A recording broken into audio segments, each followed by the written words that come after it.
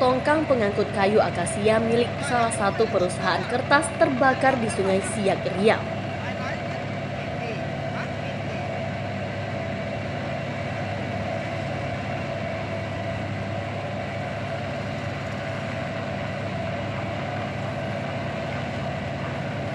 Kapal tongkang diketahui berasal dari Kalimantan menuju pabrik kertas di Perawang, Kabupaten Siak.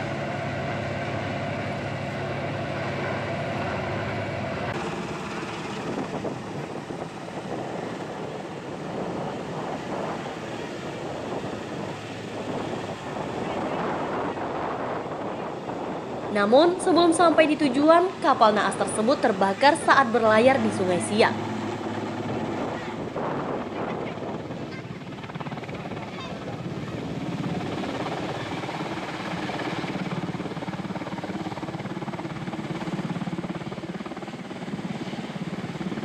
Sulitnya akses untuk menjangkau api membuat petugas terpaksa mengerahkan satu unit helikopter waterbombing milik perusahaan untuk memadamkan api lewat udara.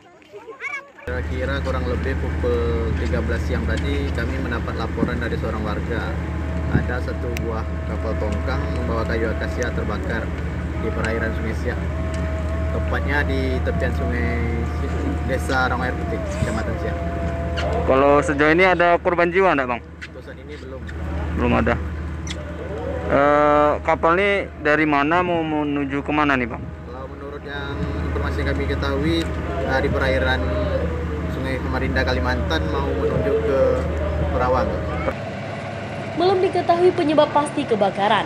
Kasus ini masih dalam penyelidikan petugas. Sementara tidak ada korban jiwa dalam peristiwa itu. Namun kerugian material ditaksir mencapai miliaran rupiah. Dari Siak Riau, Ahmad Disnon dan Wahyu Falatehan melaporkan.